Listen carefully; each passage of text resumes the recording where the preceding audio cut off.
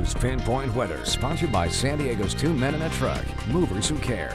We are so proud of her. Oh. What a great story. Yeah. That is a fantastic story. Thank you, Joe, for that. You know, when I see kids like that, it just brings so much joy to my heart. Yeah.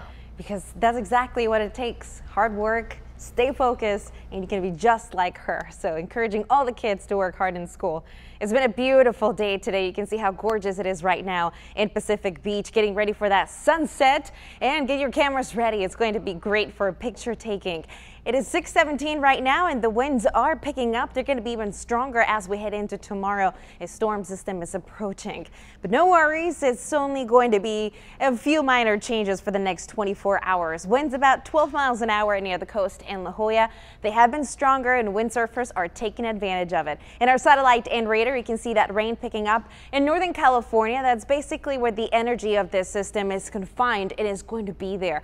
The area of low pressure all the way up north in Seattle and the front itself is what's bringing our chance for a touch of light rain tomorrow. We'll begin to see clouds increasing tonight right around 1130 and then overnight we'll see a touch of light rain, most likely just a few sprinkles coming through. That chance will continue into early tomorrow morning and then by the afternoon at 430 nothing but sunshine but the clouds will stick around into the mountains and the clouds will become thicker overnight. We'll see those again Friday morning but not expecting any rain out of them. Some of that green just showcasing the thickness and the amount of moisture in those clouds, but they're not going to be productive.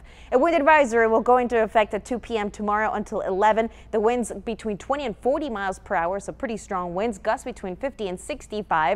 Areas not included in that wind advisory are coastal areas and inland between 15 and 25 miles per hour. The strongest winds will be in the afternoon. Here's the source of the storm and the warm weather, which will continue into our holiday weekend. So we dip down a few degrees tomorrow, then we ramp it up again this weekend. Inland areas in our 10 news pinpoint seven day forecast in the 70s on Friday, Saturday 76, 77 on Sunday, and also keeping it nice and comfortable as we head into early next week for those of you with a, maybe a four day weekend. In the mountains, windy tomorrow, nice on Friday, and a gorgeous weekend for Easter. Back to you. Looks good. Thank you. The Padres won their